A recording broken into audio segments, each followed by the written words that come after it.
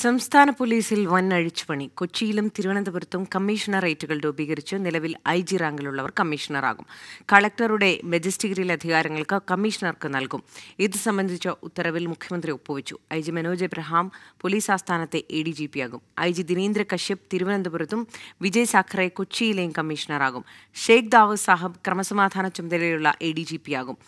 റേഞ്ചുകളിൽ I ജിമാർക്ക് പകരം D I ജിമാർക്ക് ചുമതല നൽകി.